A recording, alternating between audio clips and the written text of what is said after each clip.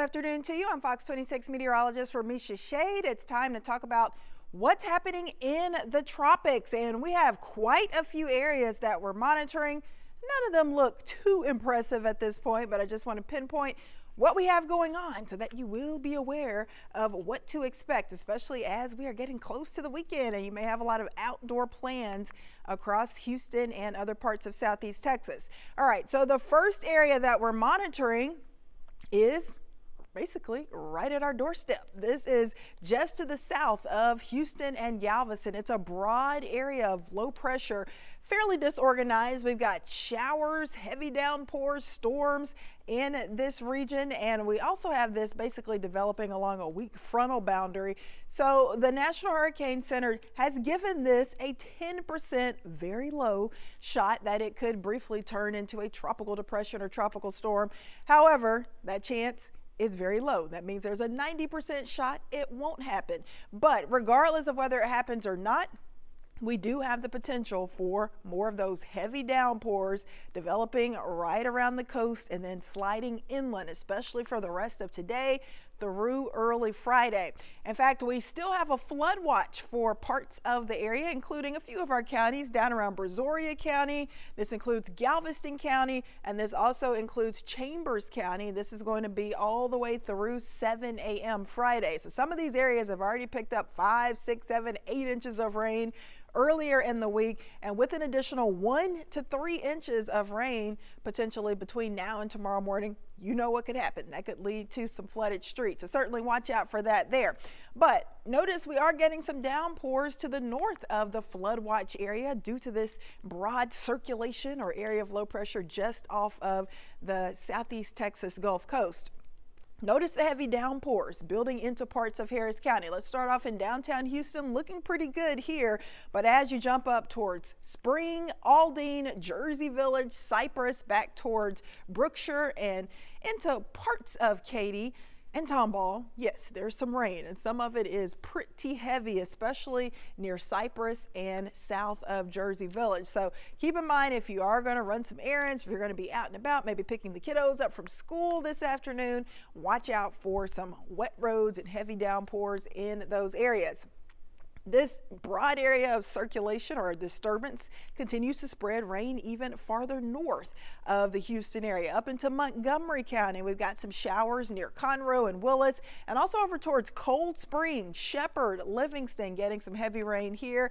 Farther south around the coast, we have had some bursts of heavier rain throughout the day, but things are kind of calming down at least temporarily. But you can see some of those heavier downpours back up around Katy and a few showers near Wharton and El Campo. So this is going to be the trend for the rest of today and tonight. I don't really think there's a decent shot that we're going to get a tropical system from this, but you can see this front, this weak front just kind of camping out, kind of hanging out across the area just offshore, there is that area of circulation that the National Hurricane Center is monitoring, but it really doesn't have much of a chance of survival. It's already very close to making landfall, and we've got another cold front that will dip in from the north for Friday evening and Friday night, and that should be the end of it after that. That should kind of push it on out of here, and that will push a lot of this rain out of here as well. But with this disturbance just offshore, that means the threat for more heavy rain, not just for parts of the Texas Gulf Coast, but over towards the Louisiana Gulf Coast as well, and even to the east of there, parts of southern Mississippi and southern Alabama. Highest flood risk through tonight will be the area in red. That's the biggest area of concern. So that ranges from Baton Rouge over to New Orleans, but even in Houston and Galveston, we remain in that two out of four elevated slight risk for that street flooding due to the fact that we've got that disturbance and that front kind of lingering, meandering in the area. So that means the risk for street flooding is still with us. So make sure, especially as we get close to the rush hour and even into the evening hours, that you are very careful out there and watch out for any flooded roads. We are almost out of this super soggy pattern for Southeast Texas, but we got a little bit more to go. So between today and Friday, Models not really showing too much in the way of additional rain for Houston, likely less than an inch, but between League City, down towards Galveston, maybe parts of Santa Fe, Angleton, Lake Jackson, Freeport, these are the spots that could pick up an additional one to three inches of rain between today and Friday. So basically over the next 24 hours. So here's the disturbance hanging out just south of Houston. Let's see what our futurecast shows as far as this rain. Notice the majority of the rain staying close to the coast and off to our east. A lot of that really heavy rain impacting parts of the Louisiana Gulf Coast. That's where the highest flood risk will be. We will have some showers pushing in for Friday morning, but by Friday evening, I think the majority of that rain kind of starts to roll out. And you know what? That is right on time because that's what many of you will likely try to get your weekend started. So this is great timing for a change. Here is the cold front that will bring sensational weather for the weekend. It is going to be pushing right over San Antonio tomorrow evening, then down into Houston tomorrow night. Behind that front, much drier air. Notice all of that green and all of those thick clouds. The rain, the clouds finally start to scatter out and go away. And that means also drier air, lower humidity levels, plenty of sunshine, beautiful weekend weather.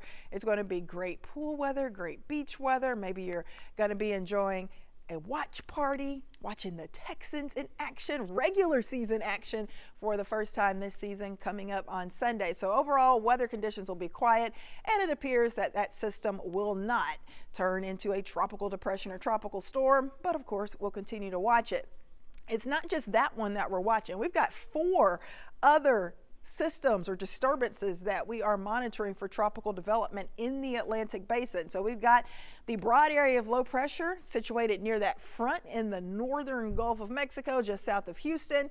That's number one. We've got number two out in the western portions of the Caribbean. That one's set to push into the southwestern Gulf of Mexico this weekend into early next week.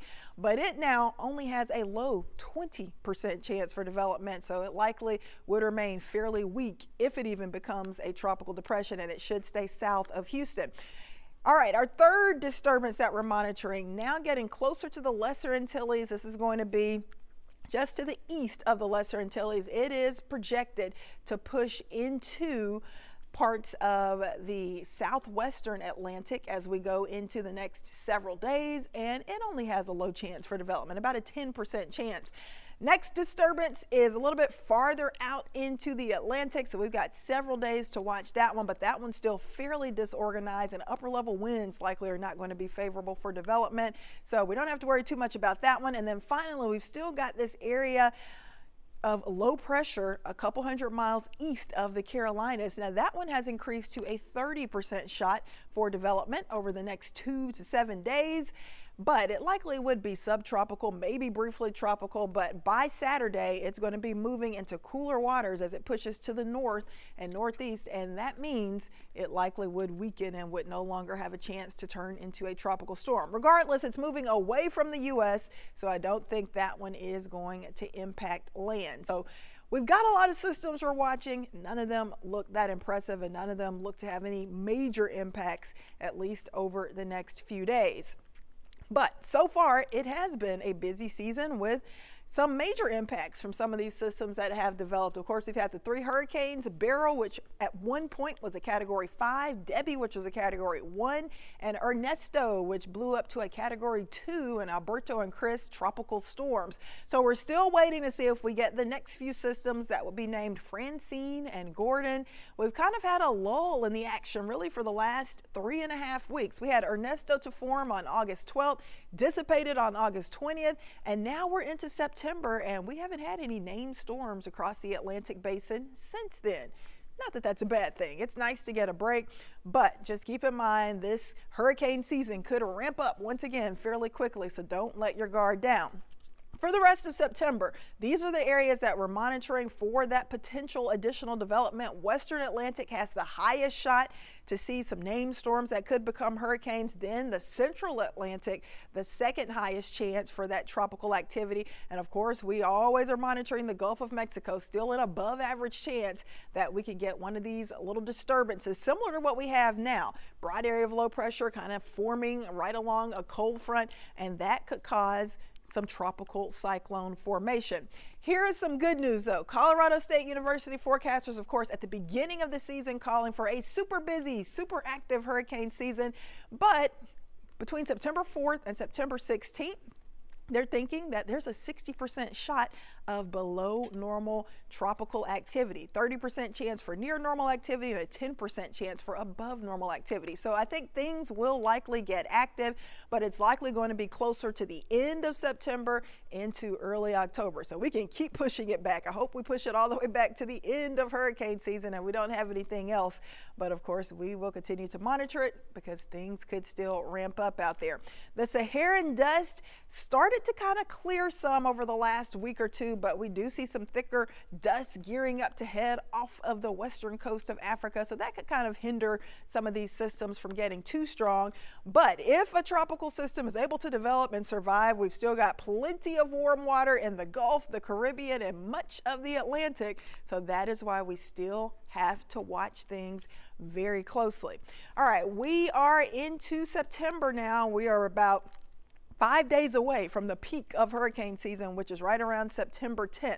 So that's why I'm saying things may not be super active out there, but don't let your guard down because this is typically the busiest, craziest, most active portion of hurricane season, and things could quickly develop and you want to be prepared to make sure that you go over your hurricane plan, make sure you have an evacuation plan if that needs to happen, and make sure you have all of the emergency gear that you would need if you are going to stay put, just in case we do have another tropical storm or hurricane heading our way. Well, the good news is that the system close to Houston right now only has a low 10% chance for development. That likely not happening with that cold front pushing in tomorrow. So thank goodness we don't have to worry too much about that, but certainly keep in mind that the hurricane season could be very busy over the next month. So make sure that you stay prepared, stay aware, and stay safe.